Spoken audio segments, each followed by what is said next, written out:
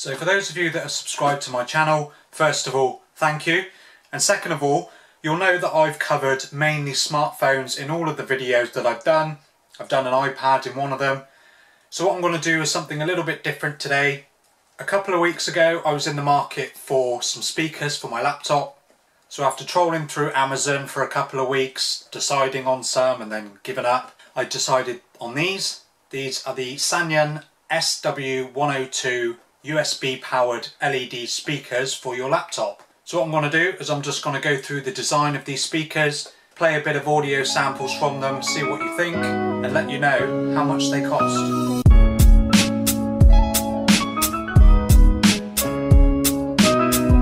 Okay, so here is one of the speakers set up on my laptop. So if we just quickly go through the build, as you can see here, plastic surrounding here, which is unsurprising, obviously, and then there's a plastic on the top, a red strip across the top there, and then of course your single speaker inside there. You can just, there we go, you can make it out in there.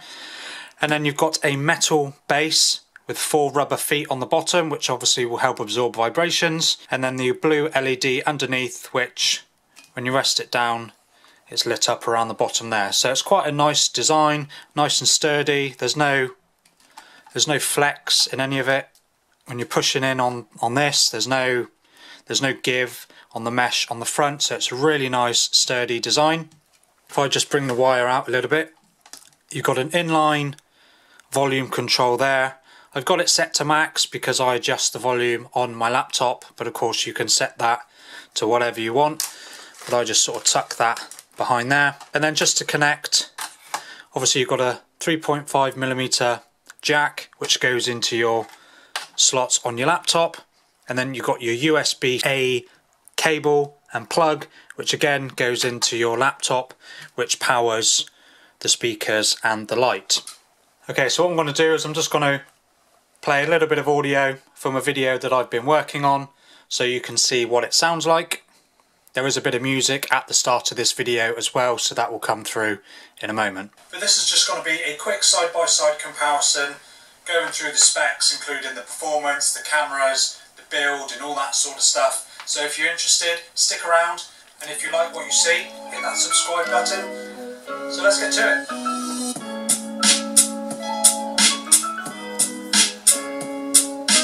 So going from left to right, I've got the Motorola G10, G30, G9. So as you can tell, I'm hoping that my camera has picked up the audio pretty well. The sound quality is actually really good coming from these speakers. Obviously you can tweak the individual settings on your laptop, the bass and the treble and all that sort of stuff, but I'm pretty happy with the quality of these speakers. Everything is crisp, the voices come out really well. Right, so price.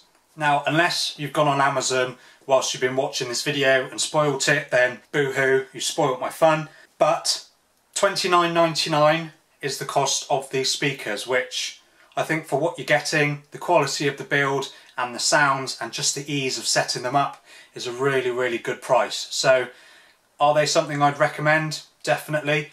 For a basic speaker setup, but obviously if you're more into your sound and all that sort of stuff, then of course 30 quid, you're not going to be paying that for speakers. You're definitely going to go for something a bit more expensive and a bit better quality. But for me at this stage in my YouTube journey, they definitely do the job and I'm really happy with them. And I think for most people, you would be too. So I'll leave the link in the description if you want to look at buying these speakers.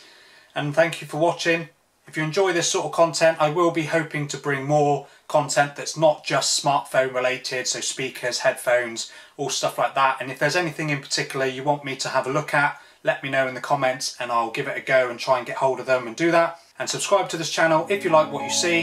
Thank you for watching and I'll see you in the next one.